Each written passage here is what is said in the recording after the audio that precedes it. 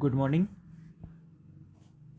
B A second year की मानव एवं आर्थिक भूगोल की क्लास में आज हम देखते हैं मानव भूगोल की प्रकृति के बारे में।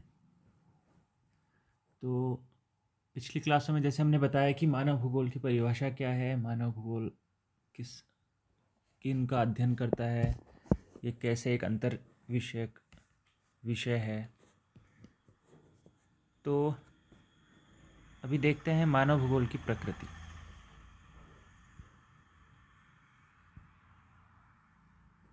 मानव भूगोल जो है, इसकी जो प्रकृति है, वो अंतर विषयक है।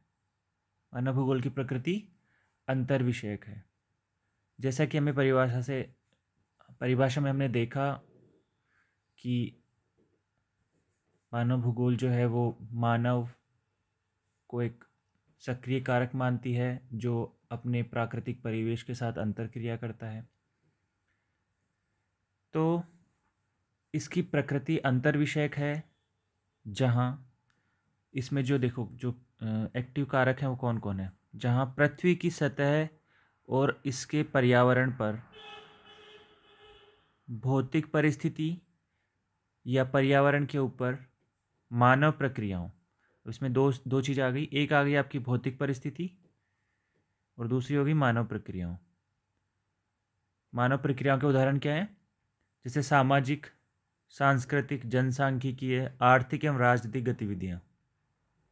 इनके संदर्भ में जो स्थानिक व्यवस्थाओं का अध्ययन करता है।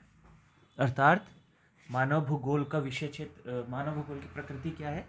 ये प्रकृति प्रकृति इसकी जो है वो अंतर विषयक है और इसके विषय क्षेत्र में सम्मिलित है। पृथ्वी की सतह, अर्थात आप कहो कि पृथ्वी का भौतिक पर्यावरण और जो दूसरा है वो है मानव की क्रियाएँ। मानवीय क्रियाएँ कौन कौन सी हैं आपकी? यह है सामाजिक, सांस्कृतिक, जनसांख्यिक, आर्थिक और राजनीतिक गतिविधियाँ। तो इनका स्थानिक अध्ययन किया जाता है इसमें। इनकी स्थानिक व्यवस्थाओं का अध्ययन मानव भूगोल की प्रकृति में निहित है। वस्तुतः, इसको फिर डिफाइन कर रहे हैं। वस्तुतः, मानव भूगोल जो है, भूगोल का एक प्रमुख क्षेत्र है और उन तरीकों या प्रक्रियाओं से संबंधित है। उन तरीकों या प्रक्रियाओं से संबंधित है, जिनमें स्थान और पर्यावरण मतलब स्पेस और जो एनवायरनमेंट है, वो मानवीय गतिविधियों को आधार भी प्रदान करते हैं और उनसे प्रभावित भी होते हैं। मतलब दोनों एक दूसरे से प्रभावित भी होते हैं और एक दूसरे को प्रभावित भी करते हैं। साथ ही, प्रकृति क्या करती है? कुछ सीमाएँ प्रदान करती है। कुछ सीमाएँ और अवसर प्रदान करती है। उन सीमाओं और अवसरों के आधार पर मानव क्या करता है? अपने परिवेश को, परिवेश के साथ समायोजित होता है। हम पढ़ेंगे मानव भूगोल के तीन सिद्धांत जो हैं। उनमें एक सिद्धांत आपका है, पर्यावरण समायोजन का सिद्धांत। तो उसमें क्या होता है? ये वही बात कर रहा है, जो पर्यावरण समायोजन का सिद्धांत है, उस, वही, उसी की बात कर रहा है ये। ये बोल रहे हैं कि पृथ्वी जो प्रकृति है आपकी, वो कुछ सीमाएँ प्रदान करती हैं। सीमाओं के साथ साथ कुछ अवसर भी प्रदान करती है। तो उन सीमाओं और अवसरों के साथ मानव समायोजित होता है। और मानव समायोजित कैसे होता है? क्योंकि वो तकनीकी प्रगति करता है। तो तकनीकी प्रगति प्रगति के माध्यम से प्रकृति द्वारा जो प्रदत्त सीमाएँ हैं एवं जो अवसर हैं उनके साथ मानव अंतर क्रिया करता है और अपने अपने पर्यावरण अपने परिवेश और अप, जो भी उसके आवश्यकताएँ हैं उनको प्रकृति द्वारा प्रदत्त सीमाओं के आधार पर समायोजित करता है और संशोधित करता है। और ठीक है? तो ये जो बात कहना चाह रहा है कि प्रकृति द्वारा प्रदत्त सीमाओं और अवसरों के आधार पर अपने परिवेश को समायोजित करता है। ये आपका है समायोजन का सिद्धांत। इसको हम डिटेल में पढ़ेंगे। जो तीन सिद्धांत हैं, तीन प्रिंसिपल्स हैं ह्यूमन जोग्राफी के, मानव भूगोल के, उनको उनके अंतर्गत इस विषय को पढ़ेंगे। और दूसरी बात, ये जो अवसर और सीमाओं की बात कर रहा है, इन अवसर और सीमाओं के आधार पर मानव भूगोल में जो मानव पर्यावरण अंतर संबंध हैं, इसमें हम देखेंगे मानव पर्यावरण इंटरेक्शन अंतर संबंध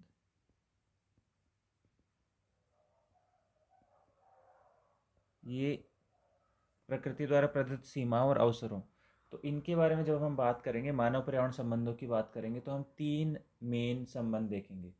पहला है आपका पर्यावरण निश्चयवाद। पर्यावरण निश्चयवाद क्या बात करता है? कि जो प्रकृति है, उसके द्वारा जो लिमिटेशंस हैं वो बहुत ज़्यादा हैं और मानव की जो मानव की जो तकनीकी प्रगति है, उनके सामने कुछ भी नहीं है। अर्थात जो मेन फोकस है पर्यावरण नियतिवाद का, वो क्या है कि प्रकृति ही सब कुछ करेगी। मानव बिल्कुल निष्क्रिय कारक है। इसका जो दूसरा, इसका जो विपरीत जो अंतर संबंध है, जो, जिसको आपके फ्रांसीसी भूगोलवेताओं ने प्रमोट किया, वो है आपका संभववाद। उसमें जो मुख्य फोकस है, वो मानव पर है। ठीक है? और एक और है आपका वो है आपका रुकोर जाओ संभववाद रुकोर जाओ नियतिवाद, स्टॉप एंड गो डिटर्मिनिज्म। जो ग्रिफिथ टेलर ने दिया, या जिसको नवनियतिवाद भी कहते हैं, ये इन दोनों का बैलेंस है। तो इसको भी हम बाद में देखते हैं। तो पहले हम इसमें जो बताया, बताना जा रहे हैं कि मानव भूगोल की प्रकृति कैसी है। तो इसको फिर से एक बार देखते हैं। मानव भूगोल की प्रकृति अंतर विषयक है, जो पृथ्वी के पर्यावरण मतलब पृथ्वी के भौतिक पर्यावरण और मानवीय क्रियाओं। मानवीय क्रियाओं में सम्मिलित हैं आपके सांस्कृतिक जनसंख्यिक, आर्थिक, राजनीतिक गतिविधियों। इनका इनका सक्रिय अध्ययन है। ठीक? भौतिक परिवेश और मानवीय पर्यावरण इनका सक्रिय अध्ययन है और ये क्या दिखाता है? किसका बात करता है? स्थानिक व्यवस्थाओं की। स्थानिक व्यवस्थाओं का मतलब है कि जो चीज़ जहाँ पे है, वहाँ पर क्यों है? ठीक? इसके बाद में वही बात फिर से बोलिए कि प्रकृति कुछ सीमाएँ प्रदान करती है, सीमाओं के साथ साथ प्रकृति कुछ अवसर भी प्रदान करती है, जिनको मानव अपने तकनीकी विकास के आधार पर प्राप्त करता है और उनसे अंतरक्रिया करता रहता है। आगे देखते हैं इसमें। प्रकृति और मानव दोनों अपनी प्रकृति के अनुसार क्रियाशील हैं, अर्थात दोनों ही सक्रिय हैं। सक्रिय होकर दोनों क्या करते हैं? वो एक संतुलन प्राप्त करना चाहते हैं। संतुलन के लिए एक साम्यावस्था बिंदु, वो एक एक ऐसा पॉइंट चाहते हैं जहाँ पर दोनों, प्रकृति और मानव दोनों साम्यावस्था में हो। ठीक है? है दोनों परिवर्तनशील? अब परिवर्तनशील हैं दोनों तो जो साम्यावस्था वाला बिंदु होगा, ऐसा बिंदु जिस पर संतुलन प्राप्त होगा, वो वो भी आपका साम्यावस्था में वो भी आपका गति चेंज होता रहेगा। तो ये बेसिकली गतिक साम्यावस्था होती है। डायनेमिक इक्विलिब्रियम होता है। अर्थात जो साम्यावस्था का बिंदु है, वो परिवर्तित होता रहता है। तो कहने का मतलब यह है कि मानव सक्रिय मानव और गतिशील प्रकृति दोनों क्या करते हैं? दोनों एक बिंदु की खोज करते हैं, एक ऐसे ऐसे पॉइंट की खोज करते हैं जहाँ पर दोनों ही एक दूसरे से बेनिफिट जहाँ पर दोनों को ही एक दूसरे से लाभ प्राप्त हो सके। ठीक है? इसमें हमें मानव, मानवीय क्रियाएँ ज़्यादा हमें ज़्यादा विजिबल होती हैं क्योंकि मानव एक सक्रिय कारक है, उसको हम देख सकते हैं। प्रकृति जो, द्वारा जो गतिक संतुलन प्राप्त किया जाता है, उसको हम इतना, वो इतना विजिबल नहीं होता है। तो हमें लगता है कि जो प्रकृति है या जो भौतिक पर्यावरण है, वो एक निष्क्रिय पर्यावरण है, लेकिन निष्क्रिय कारक है, लेकिन वो भी एक सक्रिय कारक है। तथा दोनों परस्पर क्या करते हैं? एक ऐसे बिंदु की खोज करने, करना चाहते हैं जो जो संतुलन में हो, ठीक है? तो इसमें बात करते हैं गतिक साम्यवस्था की या गतिक संतुलन की। इनके फलस्वरूप क्या होता है? मानव की आर्थिक गतिविधियाँ और उनकी स्थानिक व्यवस्थाएँ। तीव्र तकनीकी की विकास तीव्र तकनीकी विकास के बावजूद भी प्रकृति द्वारा नियंत्रित और नियंत्रित और निर्देशित होती हैं। क्यों? क्यों निर्देशित होती हैं? क्योंकि प्रकृति भी एक सक्रिय कारक की भांति कार्य कार्य करता है और मानव केवल उसके उसके द्वारा प्रदत्त सीमाओं और अवसरों के भीतर ही काम कर सकता है। अच्छा इसमें बात होती है पारस्परिक अंत्यक्रिया एक दूसरे के समायोजन से निर्धारित होती है। ये दूसरा सिद्धांत है आपका। जो तीन मानव भूगोल के प्रमुख सिद्धांत हैं, उनमें एक सिद्धांत समायोजन का सिद्धांत भी है। एक हमने आपको पिछले पहले बताया यहाँ पे।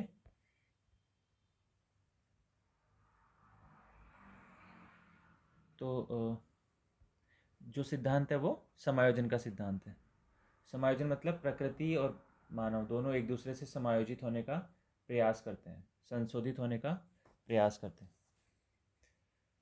इस प्रकार इस प्रकार मानव भूगोल की प्रकृति यह है कि दोनों दोनों कौन? सक्रिय मानव और अस्थिर पृथ्वी। सतह की पारस्परिक क्रिया का अध्ययन करना है जहाँ। मानव भूगोल का प्रकृति क्या है? सक्रिय मानव और अस्थिर पृथ्वी अस्थिर पृथ्वी सतह की पारस्परिक क्रिया का अध्ययन करना है जहाँ भौतिक वातावरण में मानव के लिए अवसरों की संभावनाएँ प्रदान करने के साथ साथ सीमाएँ भी व्याप्त हैं। सेम बात को फिर से यही बोल रहे हैं।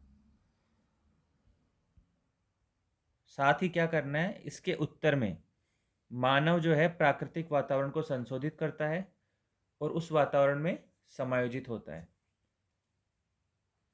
साथ ही ये जो भौतिक पर्यावरण, भौतिक वातावरण और मानव प्रगति की बदलती प्रकृति के साथ परिवर्तित होता रहता है, अर्थात गतिक है ये।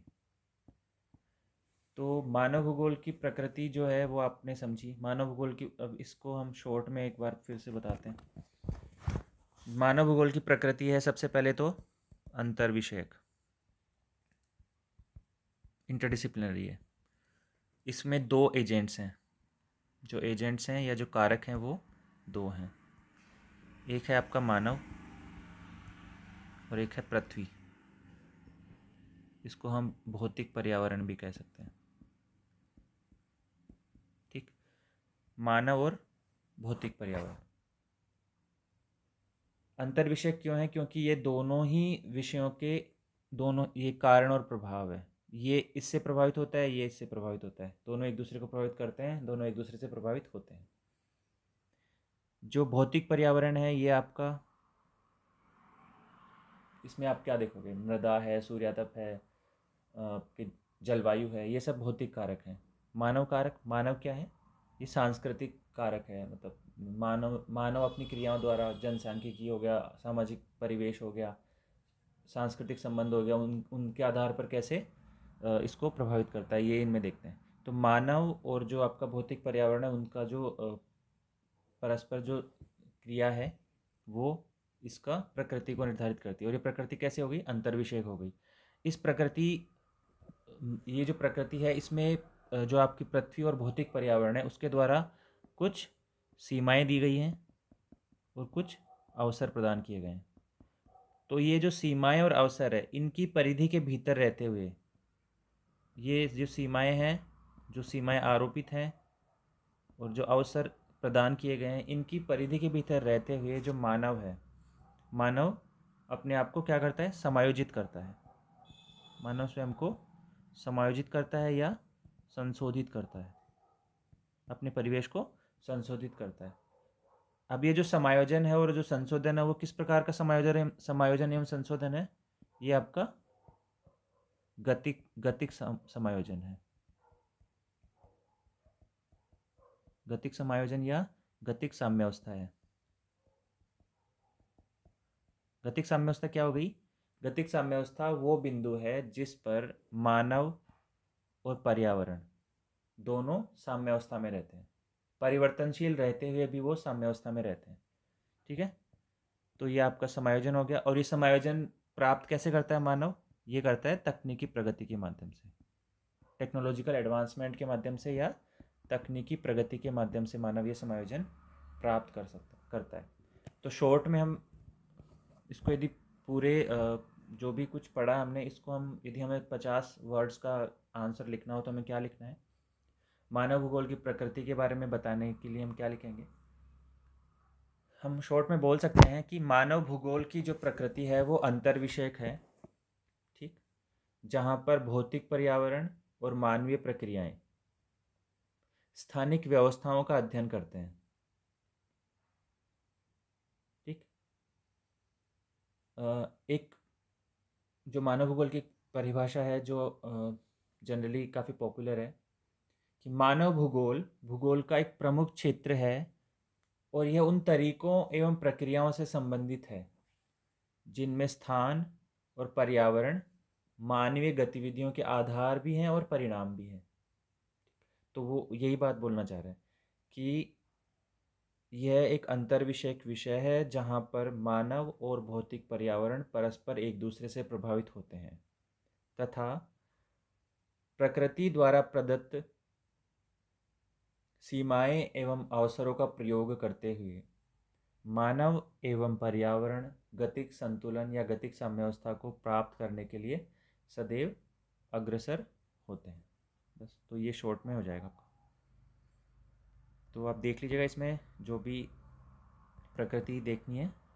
अब नेक्स्ट क्लास में हम नेक्स्ट वीडियो में हम देखेंगे मानव भूगोल का परिप्रेक्ष्य जो प्रस्पेक्टिव क्या है और मानव भूगोल से संबंधित जो विषय हैं मानव भूगोल का जो अध्ययन क्षेत्र है वो क्या है?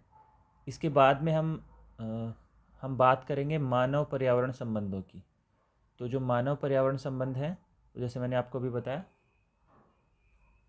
तीन हमारा सिलेबस में तीन है केवल नियतिवाद है नवनियतिवाद है और संभववाद है। उसको हम डिटेल में देखेंगे इसके अलावा और भी जो विचार हैं उनको भी हम शॉर्ट में देखेंगे। चलो आज के लिए इतना ही। Thank you